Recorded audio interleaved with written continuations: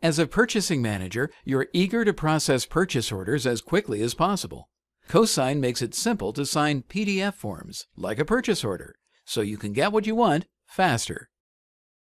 To sign the purchase order, simply right-click on the PDF and select Sign with CoSign. Now click Sign.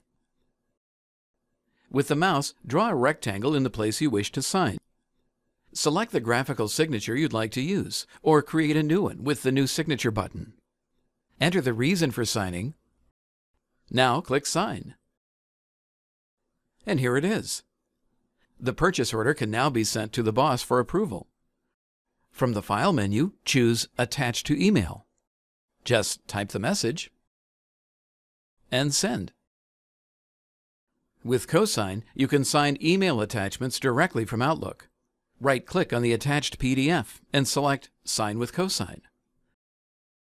Upon opening, the approver can now verify the signature is valid and confirm the identity of the signer. Then add their own signature the same way. Click Sign. Create a box for the signature. Select the desired signature, add the reason, and click Sign.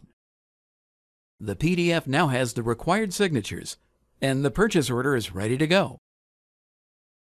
Expediting PDF forms like purchase orders has never been easier with CoSign from ARX, the digital signature company.